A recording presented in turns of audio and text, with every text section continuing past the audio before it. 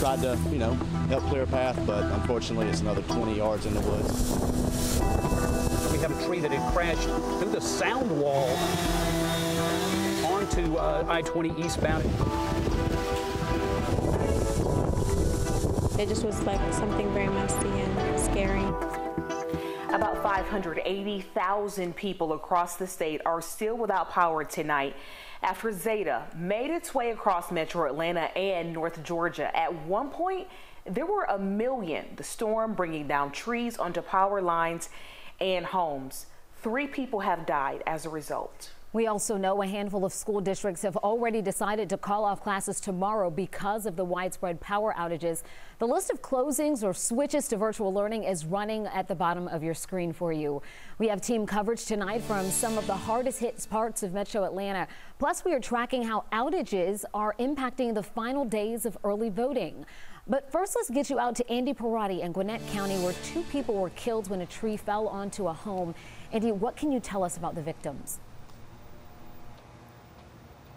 Hi, Jennifer. The fire department did not release the names of those who died, but this is where it happened. This is the home, and that is the tree that fell on top of it. In particular, the back side of the tree, where the bedroom was, where the couple was sleeping, presumably sleeping in bed, where the tree fell and pinned them, killing them.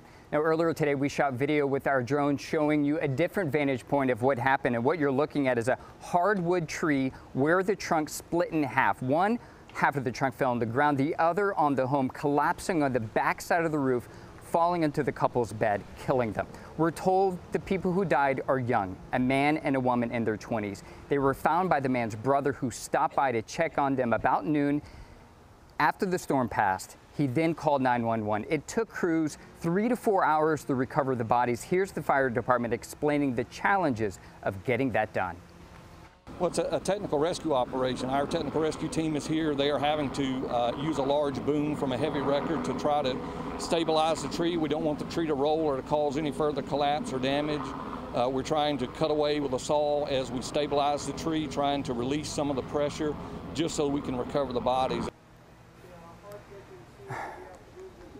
Back now live, you're looking inside the home's bedroom where the couple died and just reminders of a life once lived there. There is a dresser uh, that you can see that was presumably right next to the bed. And what you can't see is in the back part of the bedroom, there's a hat rack, and there are still hats on that hat rack. The Gwinnett County Fire Department says that they responded to 175 storm related calls from 4 a.m. to 8 this morning.